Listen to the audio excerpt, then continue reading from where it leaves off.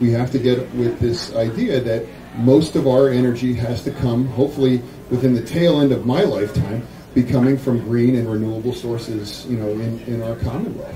And to the extent that the, the state can affect that, eh, that's really the prime driver as far as that's concerned. So uh, I would be uh, proud to, to be at the tip of that spear.